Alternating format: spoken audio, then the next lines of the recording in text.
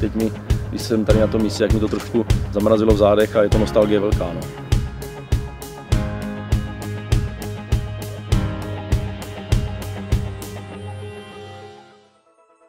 Já osobně si myslím, že tehdejší eh, tým to byl Dukla Příbram, my jsme prohrávali 1-0 a já jsem e, tam šel jako střídající hráč. Po autovém hazování vlastně jsem si balon pustil do prostřed hřiště a vypálil jsem to z takového voleje, kdy golman to lehce ještě štrejchl do šibenice a vyrovnal jsem tím na 1-1, takže asi pět, pět minut před koncem e, to znamenalo remízu. Tenkrát e, to byla samozřejmě ztráta, protože my jsme tady nebyli zvyklí někomu body darovat a korné týmům, který hráli třeba o záchranu nebo v prostřed tabulky a a, takže tenkrát to bylo na jedna jedna, ale byl to můj vlastně první ligový gól. Začal jsem, začal jsem před barákem, asi tak jako většina kluků.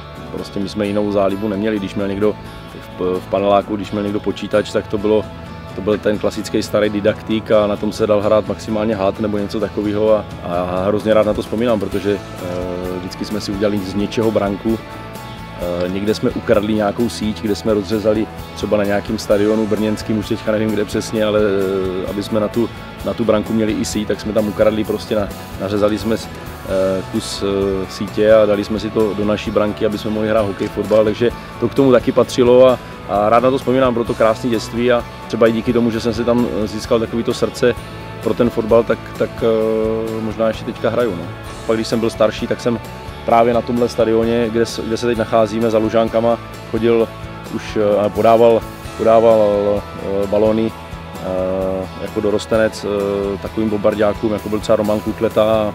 Snil jsem ten svůj sen, že jednou by jsem se mohl pod tím kotlem radovat jako hráč a, a dá se říct, že se mi to splnilo. Pamatuju si krásnou historku, kdy jsem zase Neboštíkovi, Zendovi Jánošovi tady dával gól, myslím, že na 2 nebo na 3 0 tady do téhle branky do které jsem střelil i svůj první ligový gól a utíkal jsem se po ten kotel radovat a, a jakoby byl to pro mě neskutečný zážitek. Ten kotel tvořil třeba 5000 lidí, tak, tak eh, třeba v zimě, když jsme, když jsme nastupovali na to hřiště a ten kotel začal fandit, tak normálně, eh, jak byla ta zima, tak z toho kotle šlo neskutečný teplo od těch hlasivek a mě úplně mrazí, eh, říkám, že tady na tom stadioně prostě nějaký duch a ten tady zůstane. Asi tady naše, naše děcka budou jednou bydlet, protože já nevěřím, že tady bude asi fotbalový stadion toho se asi nedočkáme. Myslím si, že tady asi bude nějaká komerční výstavba, to znamená nějaký byt, banky, něco takového. Samozřejmě bych si přál, aby tady byla třeba aspoň více účelová hala nebo něco takového, ale já už tomu moc nevěřím.